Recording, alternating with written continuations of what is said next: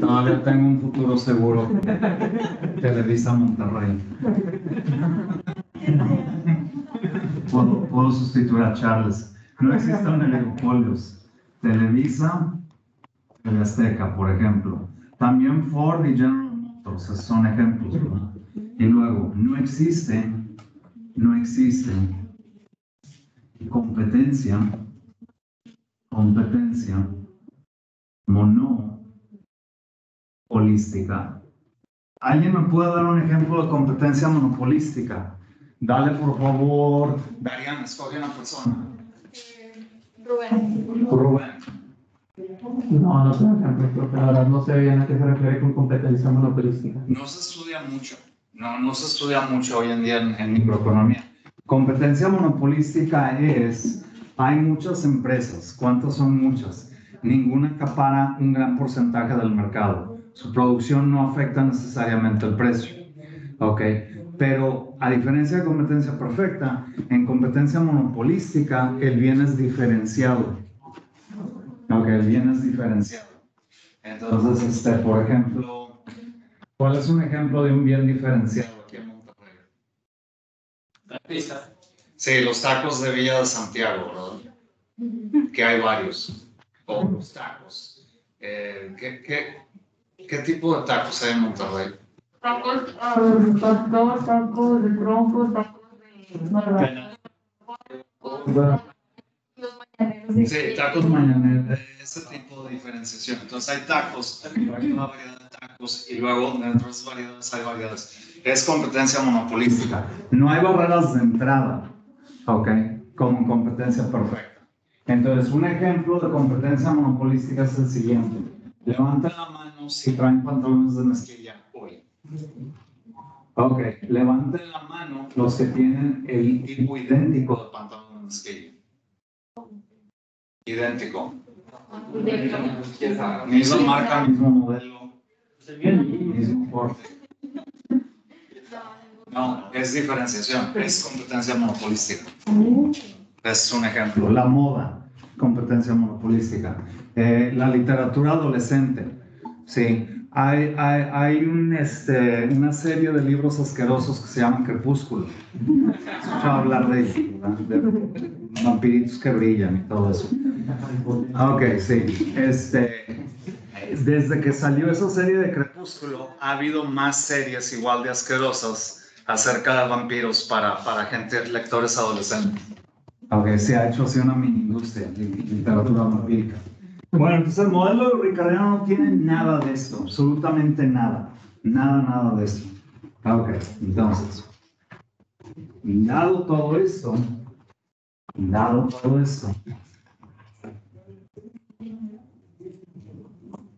dado todo esto, todas estas caren- carencias, dado todo esto, ¿cómo le va? ¿Cómo le va? Ricardiano, ricardiano, al, me- al pronosticar, pronosticar la realidad, ¿cómo le va? Ok, pues muy bien, de hecho. Muy bien. Profe, puede cambiar de pizarrón. Sí, cómo no. ¿Cómo no? Gracias. Ok, ya cambió. Ya iba a decir no, por favor, que cambie. Va muy bien. Es uno de los modelos. Es uno salud. Si estornudaron, unos modelos. que más éxito, que más éxito empírico, empírico ha tenido. Eso es lo raro del modelo ricardiano. No es muy realista, pero le ha ido muy bien cuando lo ponen a prueba. Ok. Entonces, para esto tenemos que ver el estudio legendario de, de la balaza, en 1963. Ok, entonces, McDougall, McDougall, en 1951, y Balaza, Bal- Balaza, Balaza, 1963, fueron dos estudios, fueron dos estudios, estudios que cotejaron, cotejaron el modelo, el modelo ricardiano, ricardiano con datos de posguerra, posguerra.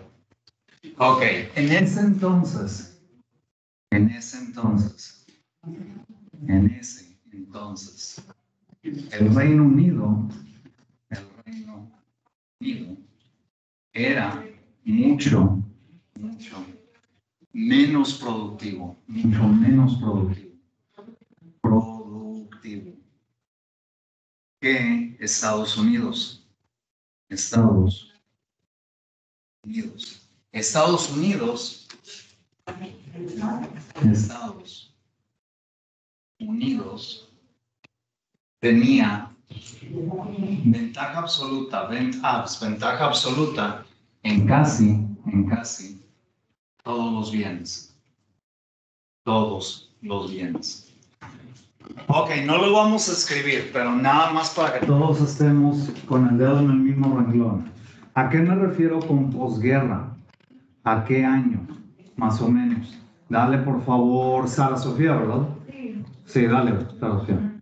Después de la Segunda Guerra Mundial. Sí, después de la Segunda Guerra Mundial, mil- alrededor de 1945. Ok. Eugenia, ¿por qué crees que el Reino Unido era mucho menos productivo que Estados Unidos después de la Segunda Guerra Mundial? Es porque perdió mucho capital, ¿no? Sí, sí. Este, el Reino Unido fue bombardeado muchísimo por la Fuerza Aérea Alemana. Estados Unidos casi no recibió ningún ataque. Fuera del ataque que recibió en Pearl Harbor en este 1941, no hubo ningún, ningún ataque en territorio estadounidense. Se, tenía la planta productiva intacta Estados Unidos.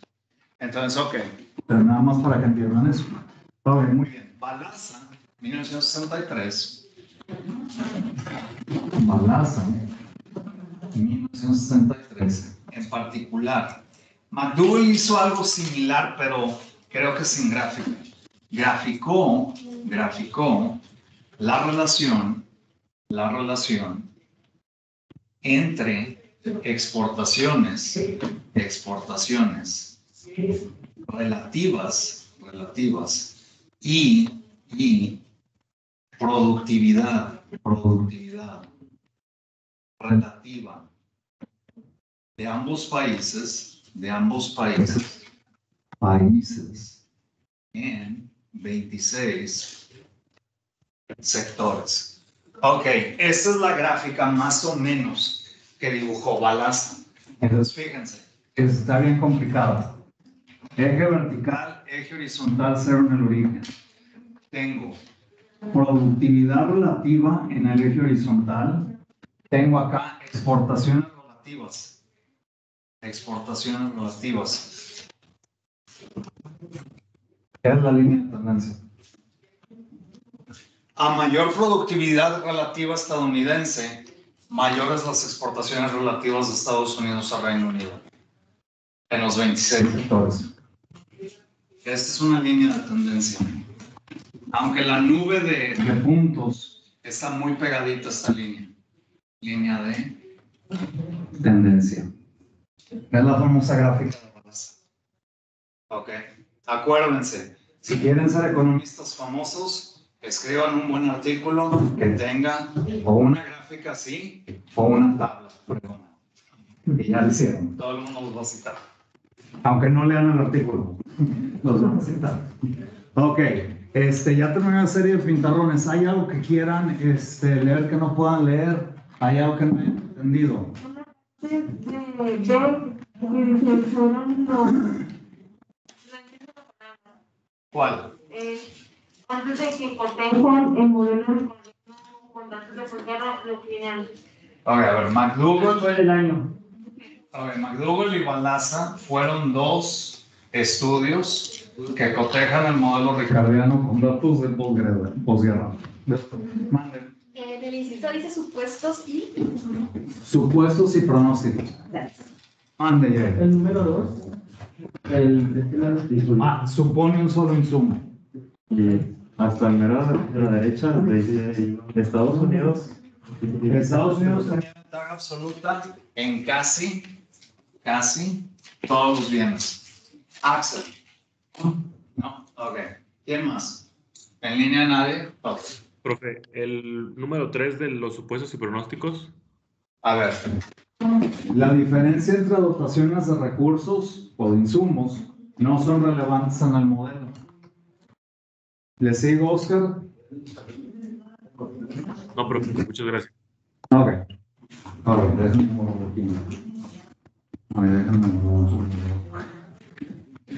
Borro.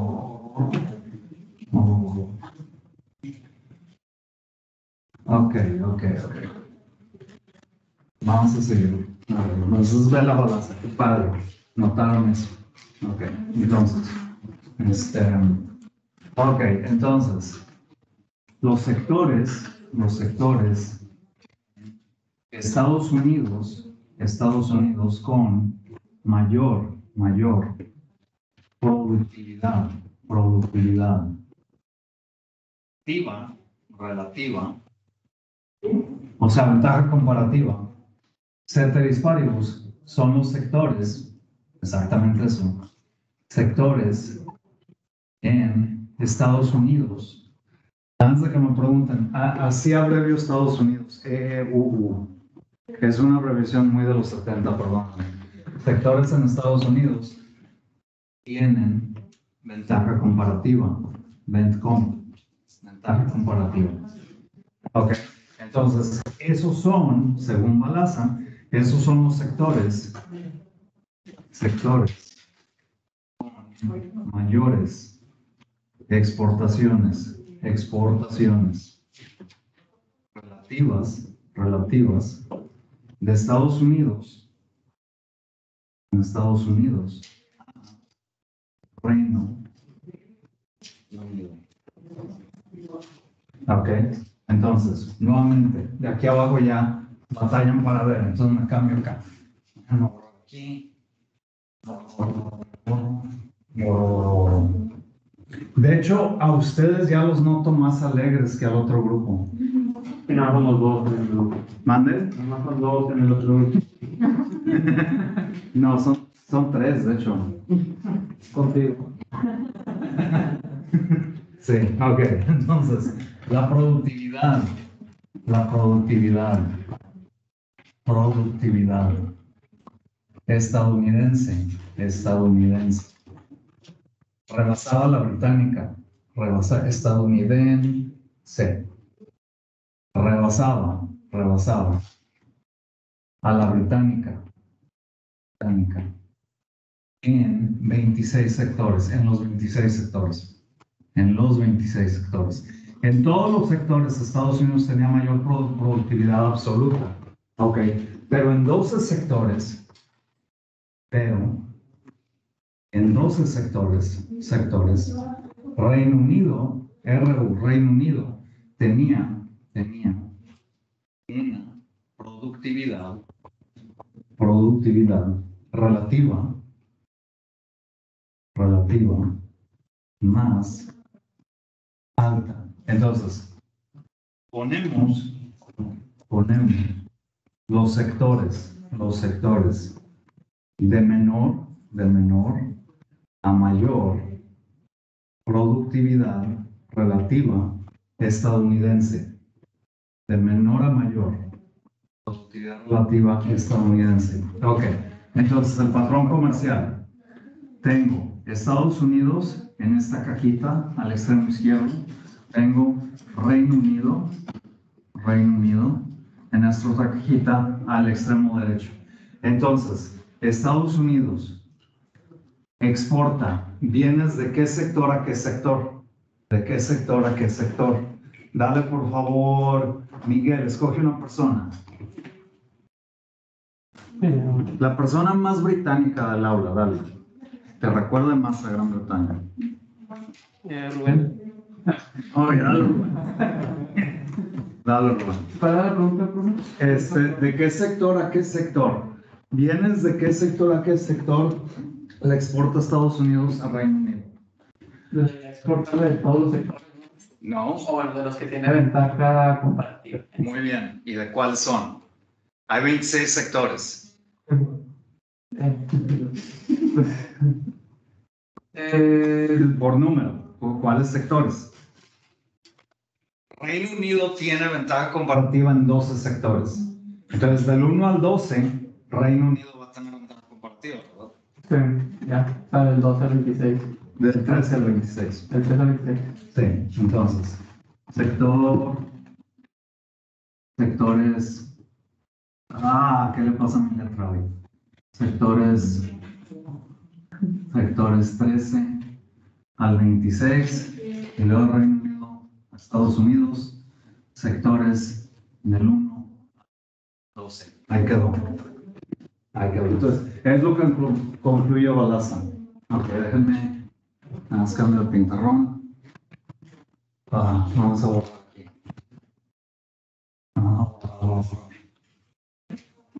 Borrar, borrar, borrar, borrar. Ah. Ok, ya. Entonces, ahí está. Ahora, este, ¿en cuál voy? En la D, ¿verdad? Inciso D. Evidencia. Evidencia.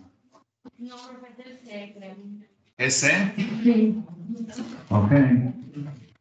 Sí. Evidencia reciente. Ok. La evidencia empírica.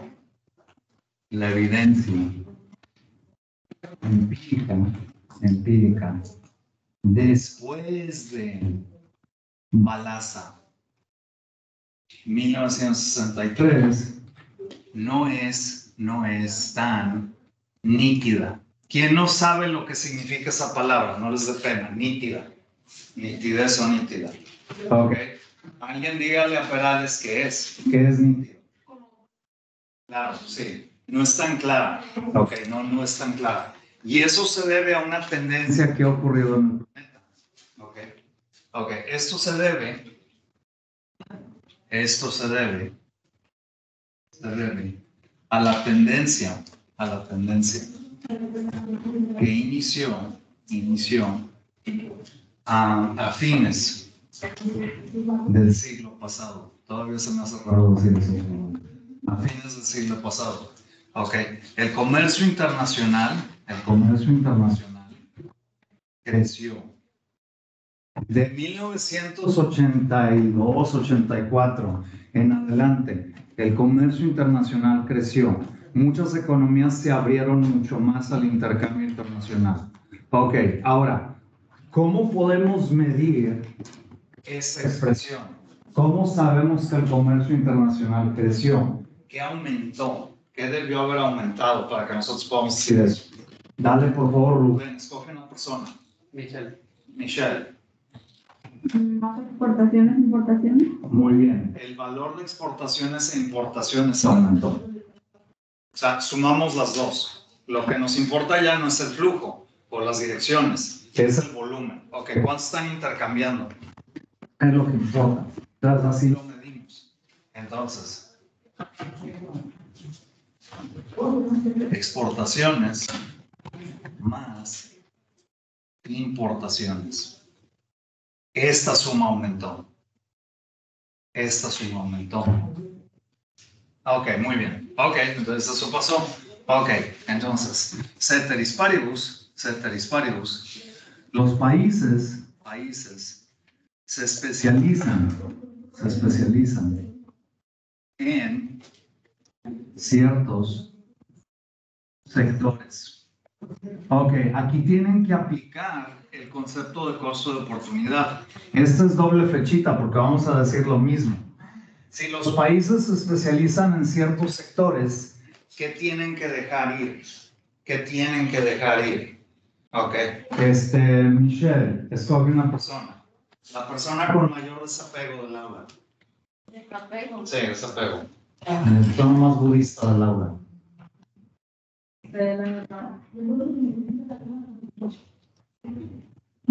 Polito. Oh, Hipólito. Dale. Este, ok.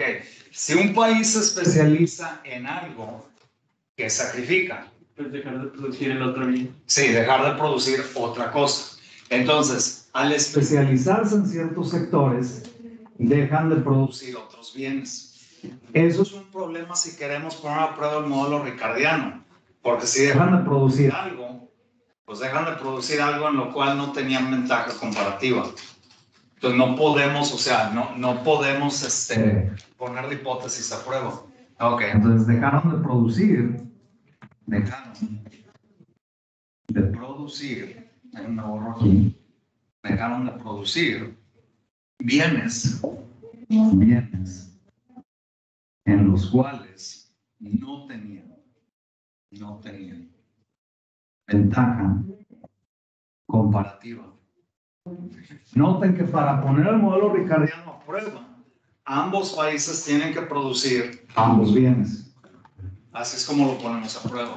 Si un país no está produciendo uno de los bienes, pues realmente no podemos poner los pronósticos del modelo ricardiano a prueba. Están aprendiendo econometría callejera. No hay letras griegas, no hay, no hay matrices bien complicadas, pero lo que hay es mucho, mucho sentido. O sea, de que, cu- cuidado, no, no, puedes, no puedes poner un modelo ahorita en estas condiciones. Eso hace, eso hace muy difícil comparar. Eso hace muy difícil, difícil. Calcular productividad relativa. Productividad, productividad relativa, relativa en ramos como el automotriz, automotriz. Ok, entonces, ok, no todos los países, no todos los países producen, producen autos. Esta afirmación, de hecho, se ha hecho más complicada hoy en día, pero veamos. ¿Qué país, nombra un país que produce autos? Alemania, muy bien. Volkswagen, Porsche, BMW, etcétera, ¿verdad? ¿Cuál es otro país que produce autos? Japón, sí, Japón. Nissan y qué más, Toyota, Mazda. ¿Mm? Suzuki también. Suzuki, sí. De hecho, todos los carros que ustedes ven de esas marcas aquí, en Japón se consideran vehículos grandes. Sí, Si nunca han visto un carro hecho en Japón para Japón, se van a asustar. ¿Ok?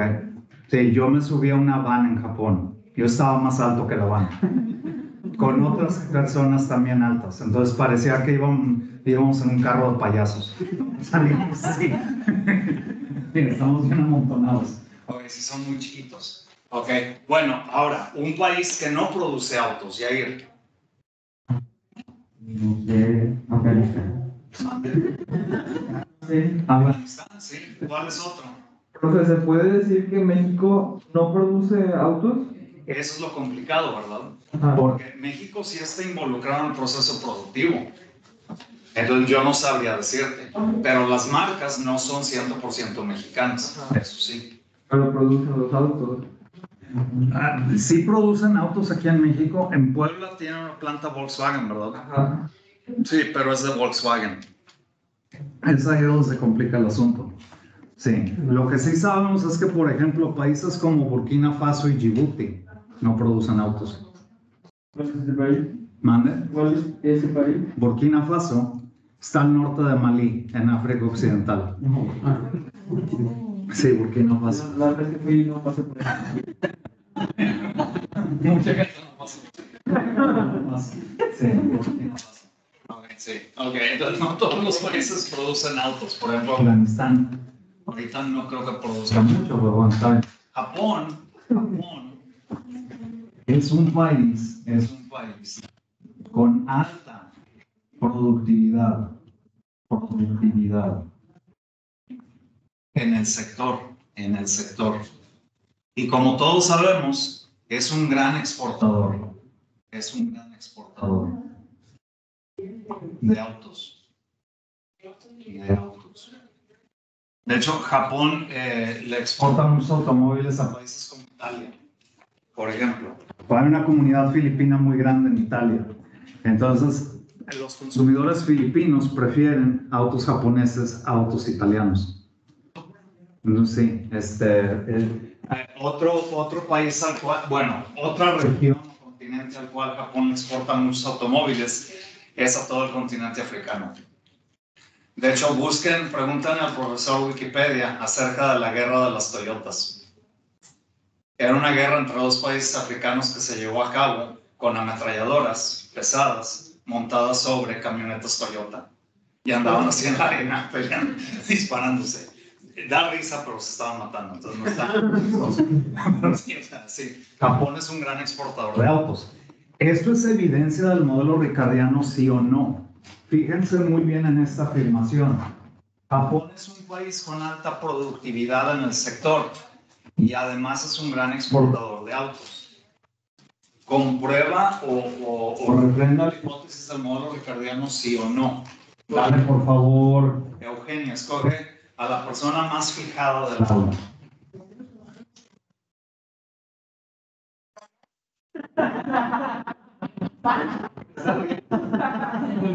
vez me preguntó a mí y luego yo estaba viendo y me dijo de que ah, pues fue la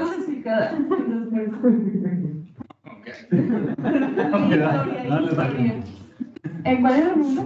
La, la- la pregunta era si esta afirmación refrenda o confirma la hipótesis del modelo ricardiano.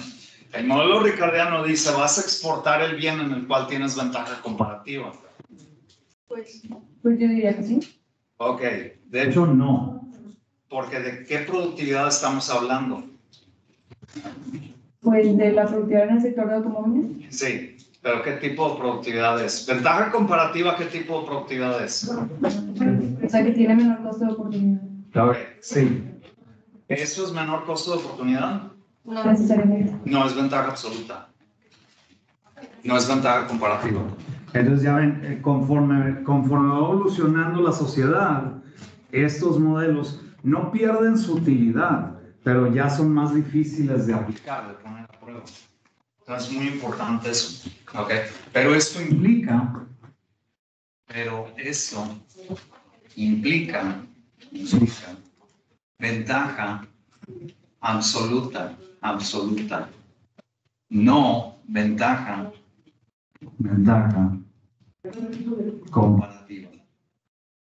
¿Ok? Ok, muy bien. Ya terminé la serie de pintar avanzado. ¿Quieren leer que no puedan leer?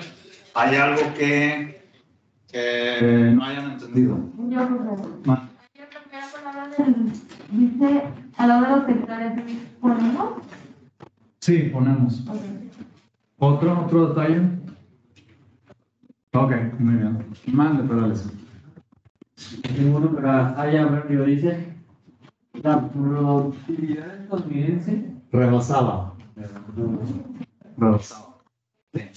Ok. Ah, por cierto, una pregunta, nunca he entendido. En Facebook aparece este comentario siempre basado. ¿Qué es eso? ¿A qué se refiere? O sea, alguien publica algo y luego en los comentarios basado. Yo, ¿qué es eso, Jair? Es como que dar su opinión y no le importa lo que digan los demás o lo que piensen los demás de su opinión. Ah, ok. Ok. No, yo lo veo cada rato, no sé por qué. Y luego basado, basado. yo, ¿qué? ¿Qué es? Ah, Déjame borrar aquí. Vamos a borrar. Ok, entonces, ¿dónde. Acá. Ok, entonces, los estudios, los estudios más recientes, más recientes, se han concentrado, se han concentrado en sectores, sectores como el sector textil, como el textil. Este sector, de hecho, es muy popular entre muchos economistas internacionales y laborales. Este, en primer lugar, este sector usa muchísima mano de obra, es intensivo en mano de obra. En segundo lugar, estos sectores en algunos países tienen un alto índice de sindicalización. Y, tienen otros detalles que, que hace este sector muy interesante. También la política comercial del sector textil es muy complicada. Si ustedes estudian la legislación, o sea, los impuestos de importación de México hacia el sector textil, es un capítulo súper grande y muy complicado. Muy, muy complicado. Entonces, sí. Ok. Entonces, eh, ¿dónde estoy? ¿Dónde estoy? Sí. Profe, ¿puede, No. cambiar de pizarrón, por favor? Ah, sí, cómo no. Siente raro, normalmente es Carlos el que nos pide eso en este salón. Ok, pues, este, en 1992, en 1992, la productividad, la productividad estadounidense, estadounidense, en manufacturas, en manufacturas, relativa a la mexicana, relativa a la mexicana, mexicana, era aproximadamente, em, voy a dejar ese espacio en blanco, por ciento. Ok, adivina. Esto es 1992, dos años antes de que se firmara, dos, dos años antes de que se pusiera en acción el Telecán, el Tratado de Libre Comercio. Ok, adivina. Sara Sofía, escoge una persona que adivina muy bien. Mm, Marisa. Marisa, dale. La en manufacturas relativa a la mexicana era aproximadamente ¿qué por ciento? Ok, este, escoge una persona, Marisa. ¿Quién?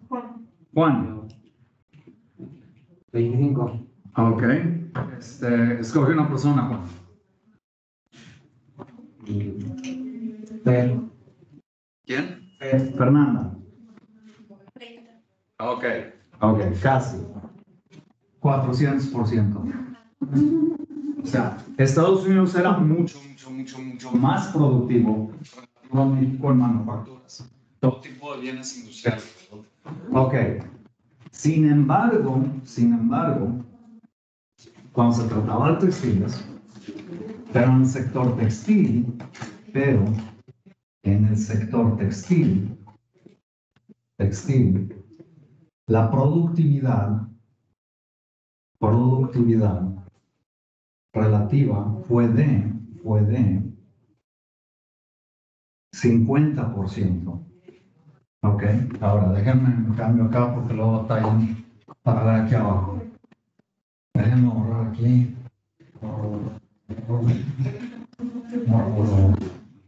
Ok, entonces por eso, por eso, a pesar, a pesar, ah, perdón, por eso, países menos productivos, discúlpenme, estaba brincando. Países menos productivos, menos productivos. Entre paréntesis, en ese entonces, por lo menos en ese entonces, países menos productivos, como China y México, como China y México, tienden, tienden a exportar textiles a países, a países como, como Estados Unidos. Entonces, la conclusión es esta. A pesar de supuestos bien ingenios, ingenuos, perdón, a pesar de los supuestos, supuestos ingenuos, los pronósticos, los pronósticos relevantes del modelo, relevantes del modelo, se cumplen, se cumplen. Las diferencias en productividad, las diferencias en productividad, productividad, determina, determina flujos comerciales o el patrón comercial, flujos comerciales y la ventaja comparativa es importante. La ventaja comparativa es importante al determinar, al determinar el patrón comercial. Entonces le va muy bien al modelo, aunque no es muy realista, le va muy bien. Déjenme no me fijo en la hora. Vamos muy bien. Sí, vamos muy bien. Supuestos ingenuos. que a pesar de sus supuestos tan ingenuos, al modelo le, va, relativamente bien empíricamente. Entonces, es una lección algo rara. No, una lección algo rara. Ok. Entonces, vamos a pasar al modelo Herschel-Olin. Déjenme borrar aquí. Borro, borro, borro, borro, borro. Borro.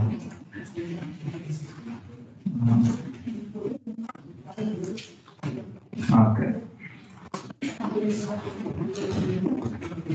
Modelo Herschel-Olin. Ok. Profe, ¿le puede cambiar, por Tengo una duda. ¿Cómo se define la productividad relativa? ¿Es simplemente que su costo de oportunidad sea menor? ¿O Es, es, es la productividad de un país sobre la productividad de otro país. no?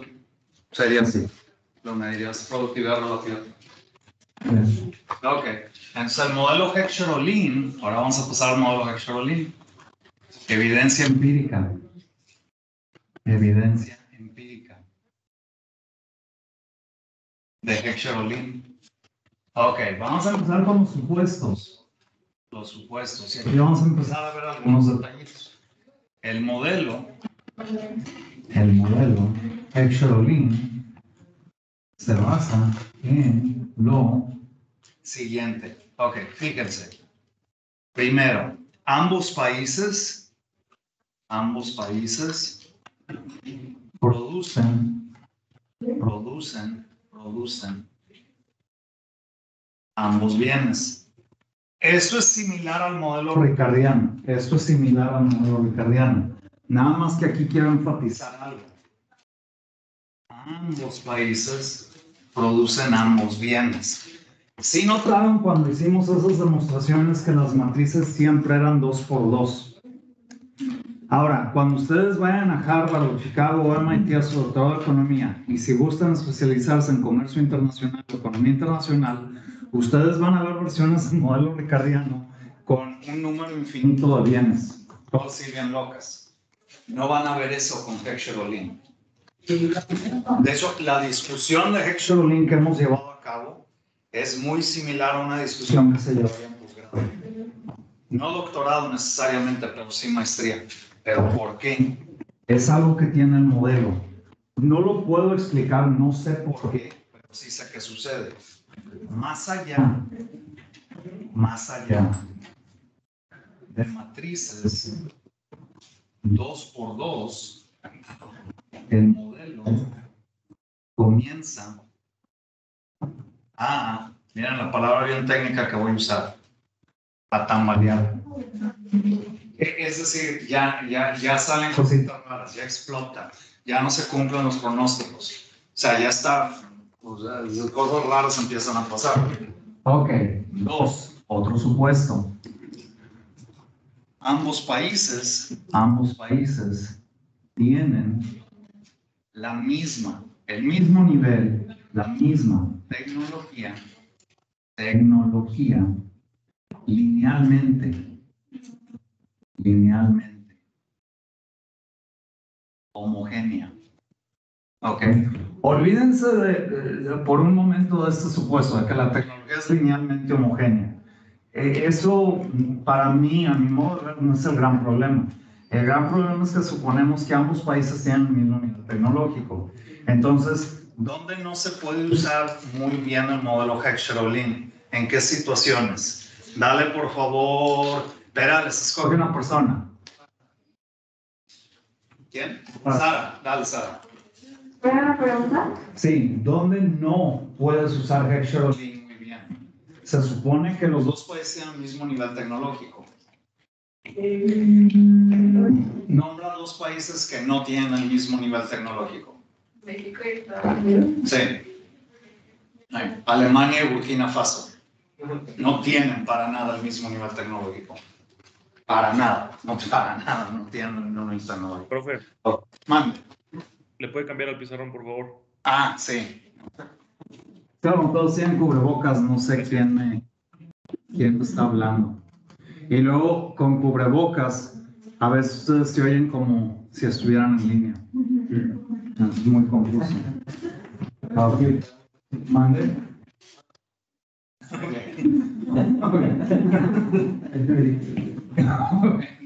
Tres. Tres. Hay competencia perfecta, competencia perfecta en todos los mercados. ¿Ok? Eso también el modelo ricardiano. Y eso va a ser problemático por las razones que vimos en el modelo ricardiano. Entonces, este, voy a usar el modelo Hector Lin para explicar el comercio entre Pemex y otras petroleras del mundo. Y es problemático eso. Ok. Y luego, cuatro. Cuatro. Preferencias. Preferencias. Idénticas y homotéticas en ambos países. Ok, ahora, eso implica que cambios, eso implica, implica que cambios en la distribución de ingreso, en la distribución de ingreso, no, no afectan, no afectan la demanda, la demanda relativa relativa mundial. Ok, eso es muy problemático si estudian desarrollo económico. Ok, porque la distribución de ingresos es un tema súper importante ahí. En comercio internacional no tanto, pero sí, sí es relevante, pero no tanto. Ahora, el otro problema es preferencias idénticas y homotéticas en ambos países. Cuando yo estaba en el posgrado allá en California, este, podías tomar puedes, de hecho todavía puedes, puedes tomar un camión al norte de Berkeley. En el norte de Berkeley había, al menos en ese entonces, un supermercado de productos mexicanos para toda la gente de México que, que radicaba ahí. Fue la primera vez que escuché ese ruido que se llama música banda. Yo, de hecho, no sabía de música, en mi vida la había escuchado. Yo, ¿qué, qué es eso? ¿Quién, quién, quién tiró los trastes o los sartenes? Y luego, eh, a dos cuadras de allí había una tienda de productos de la India y Pakistán. Si ustedes van a esas tiendas, les va a quedar muy claro que los mexicanos, los indios y los pakistaníes no tienen las mismas preferencias. Pero les va a quedar súper claro que no las tienen. No, no tienen las mismas preferencias. Entonces es un problema que, que yo tengo con el modelo Hexerolin antropológicamente hablando, tienes que hablar de sectores donde, ok, las preferencias sí sean iguales, ¿no? A todos nos gusta, no sé, algo que a todo el mundo le guste. Chocolate. ¿Mande? El chocolate. El agua. No. Todos. El, No. El queso, según yo se pone en todos lados. No, los tacos, los tacos. El agua, el agua, el aire, ya. Tienen que hablar de cosas así. Ok. Por favor, no pregunten cómo lo sé. No digan desodorante. No a todos les gusta. Eso yo descubrí allá. Ok, no me pregunten por qué. Nada más tengan cuidado cuando tomen un vuelo internacional. Ok. Pidan la sección de gente con desodorante, por favor. Ok, entonces, ahora, ¿cómo le fue? ¿Cómo le fue? No hubiera dicho eso. ¿Cómo le fue al modelo? al modelo empírica, empíricamente. ¿Cómo le fue empíricamente? Ok, se spoiler, no le fue muy bien, no le ha ido muy bien. Ok, el primer tropezón del modelo, el primer tropezón del modelo fue en 1953 descubierto por Vasily, Vasily Leontiev, un economista ruso. Vasily Leontiev. Ok.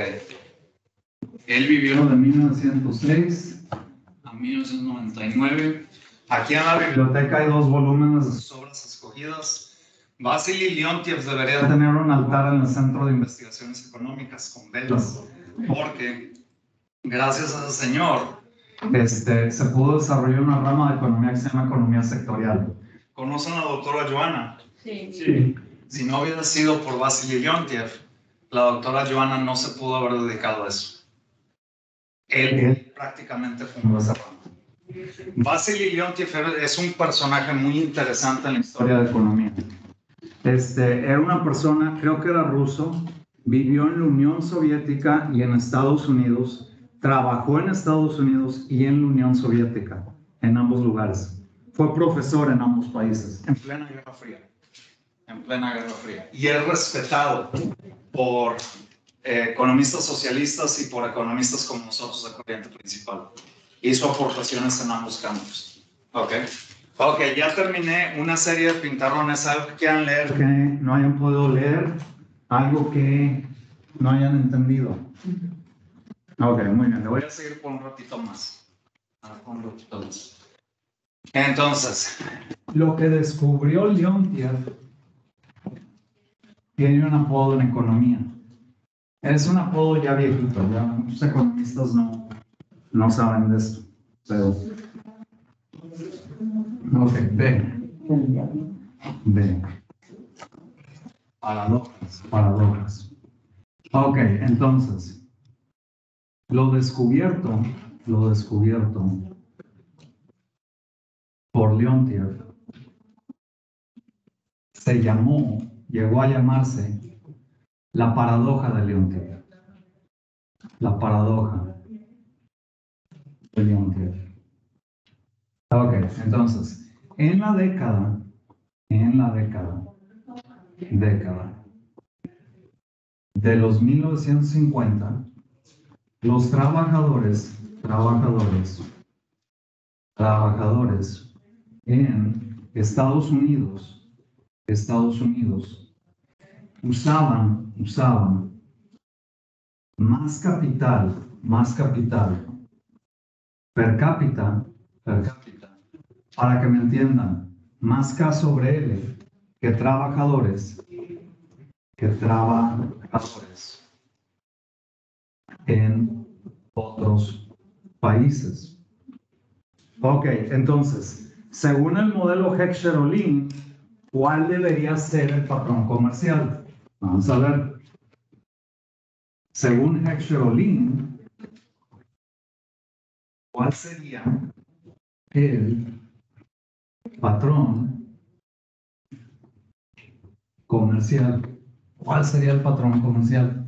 Déjenme borro aquí. Espérales, ¿a quién escogiste? A Sara. A Sara. Ah, Sara Sofía. Escoge a alguien que siempre te escoge.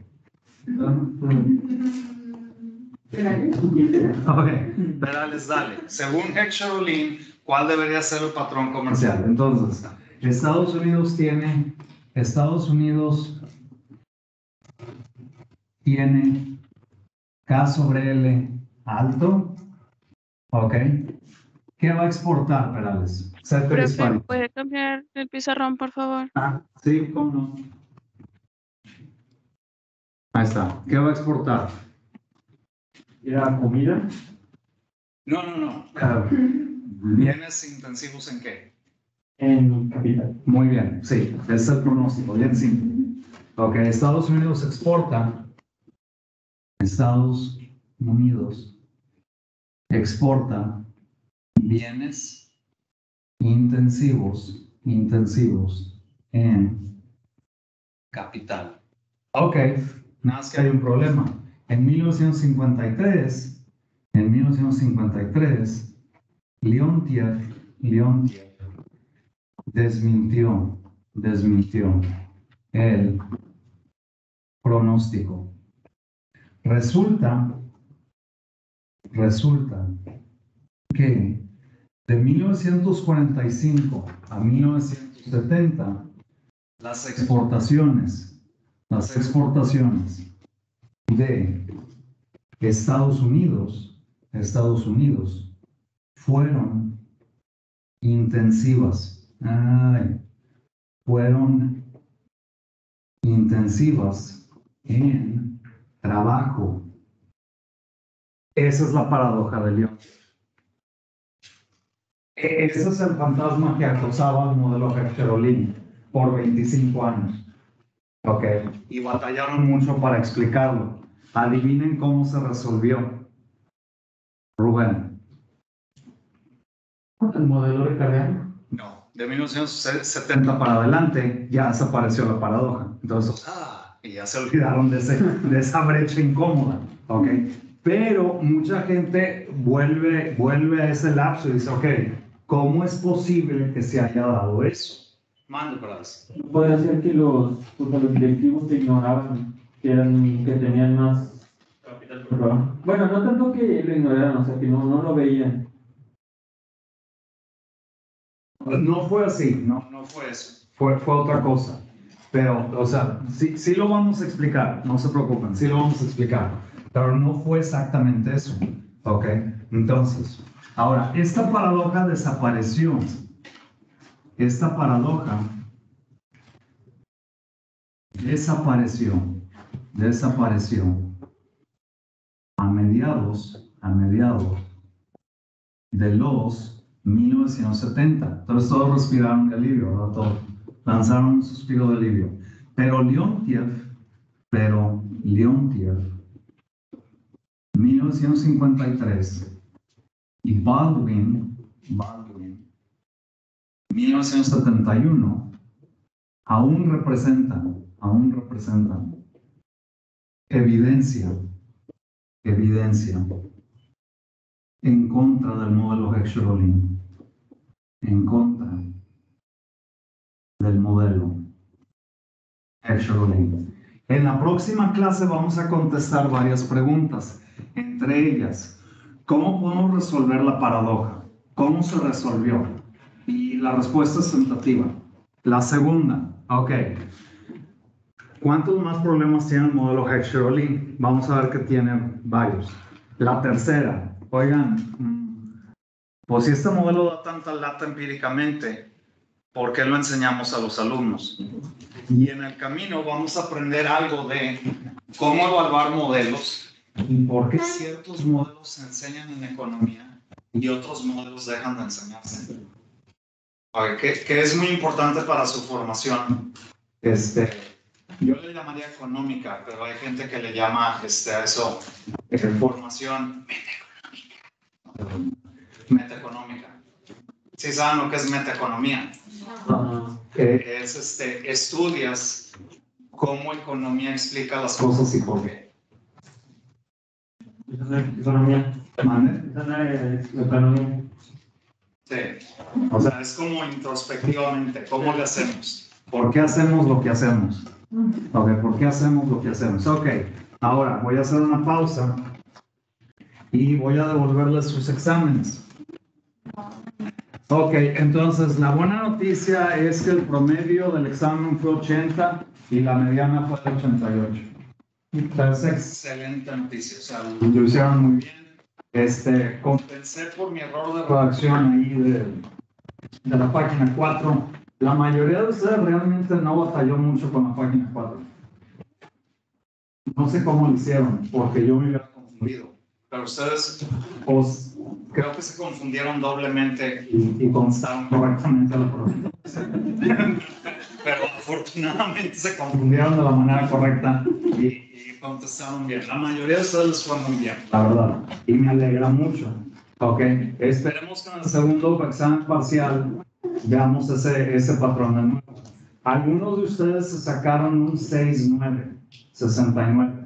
Que no se preocupen mucho por eso.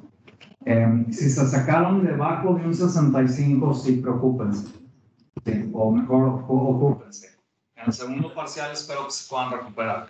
Ok, pero antes de devolverles sus exámenes, van a hacer una encuesta anónima. Entonces saquen una hoja de papel y parten la, la mitad y pasen una mitad a un compañero. Es muy largo y tengo No. pequeñito. Ya te. Puede ser reutilizable. Sí.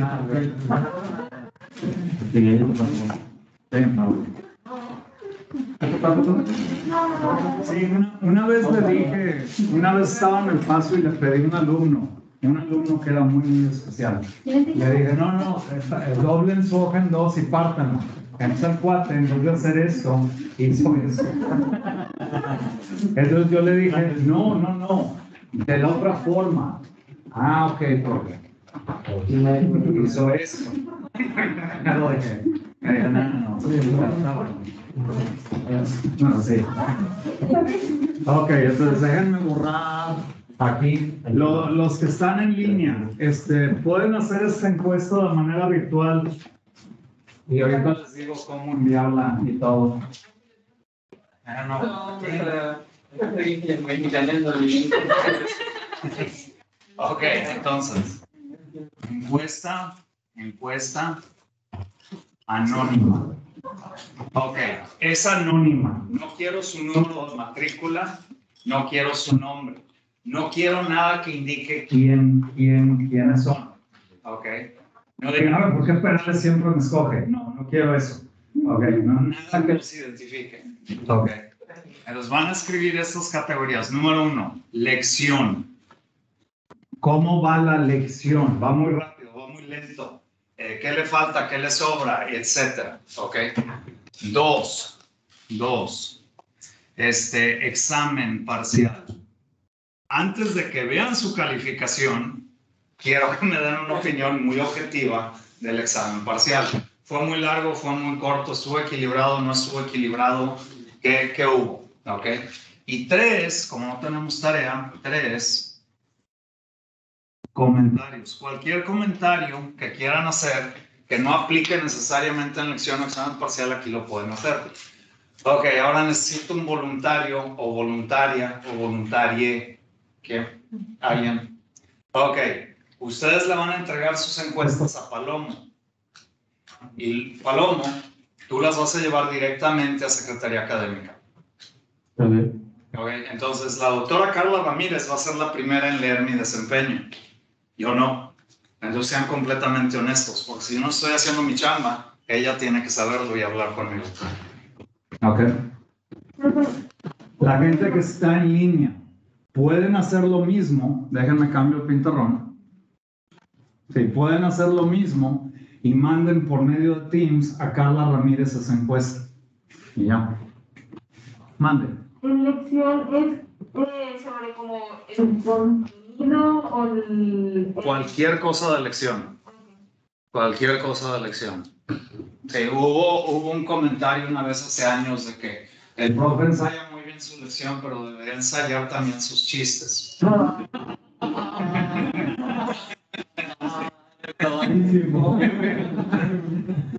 Sí.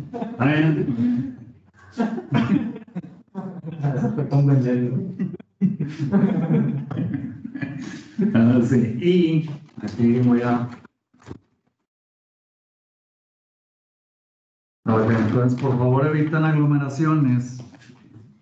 Aquí voy a dejar sus exámenes. En cuanto le den su examen a Palomo, eh, su encuesta a Palomo, perdón, pueden recoger su examen y ya. Hola. Buenos días. Estoy consciente que van a sobrar exámenes. Entonces, los que están en línea, no se preocupen, voy a guardar los exámenes que sobran y los voy a distribuir la próxima semana.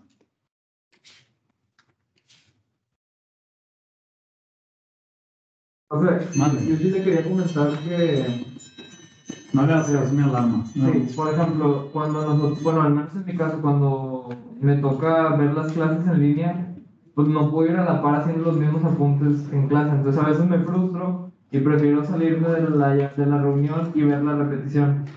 Entonces, por ejemplo, ahorita nada más hay cuatro este, compañeros de nosotros del otro subgrupo. A lo que voy es que a veces no somos todos los que ahorita estamos en, aquí presencial en línea. Entonces, no sé si, bueno, creo que en su caso no toma asistencia ni nada de eso. Pero a lo mejor, por ejemplo, el caso de Rocco, que él, bueno, de Carlos, que él era el único en, en la llamada. Este, que a veces, no, bueno, yo le quiero expresar que a veces siento yo que usted puede sentir feo que nada más hay una persona en línea. No, no siento. ¿No? Ah, bueno. O sea, nada más quería como que comentar que a veces para nosotros es un, po- es un poco más cómodo ver las grabaciones que... Ok, Ha- Hagan lo que se les haga más cómodo. Yo como quiera tengo que estar aquí y dar la clase. ok. Sí, manden. ¿Vas a seguir subiendo las diapositivas de qué Sí, sí, las estoy corrigiendo nada más. Ok. Las estoy corrigiendo. Es la única demora.